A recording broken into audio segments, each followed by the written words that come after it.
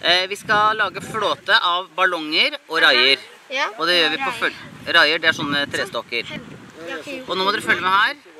Eh, vi trenger tre lange raier, som cirka litt over to meter lange. Det er en trestokk.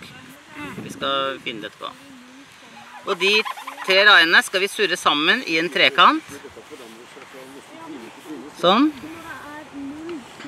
Ok, så vi skal finne tre stokker og lage det om til en trekant. Og så skal vi bruke surring her, surring her og surring her. Har dere lært surringer? Skal vi lage det ut av ballonger? Nei, jeg skal forklare nå. Her skal vi bruke noe som heter kryssurring, kryssurring, kryssurring. Jeg skal vise dere etterpå hvordan det lager kryssurring. Så er det lurt å ha en liten stokk over her. En over her.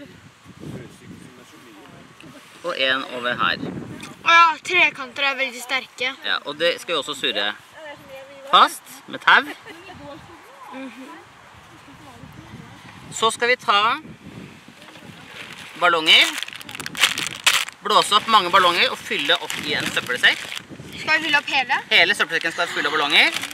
Og så skal man knyte den åpningen med tau, sånn at den søppelsekken blir helt tett. Det bruker vi bare sånn til Da må flåten være ganske stor. Og da så legger vi, har vi da en sekk her som er full av ballonger, som vi har knyttet sammen i enden der. Og så legger vi da en sånn sekk.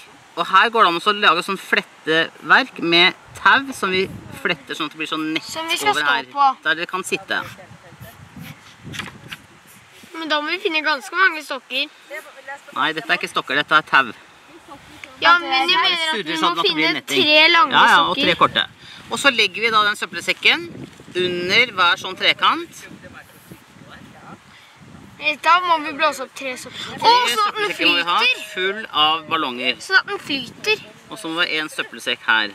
Men tror du det holder oss, eller tror du den ikke kommer til å sprekke? Nei, den kan, dette har vi gjort før, så dette kommer ikke til å sprekke. Og så kan det være lurt å binde fast søppelsekken også med tau, da, sånn at ikke den spretter ut. Så vi bare ta et tau rundt søppelsekken. Så du sa vi skulle ha tre sånne søppelposer? Ja. Så hver flåte trenger da tre søppelsekker som er full av ballonger.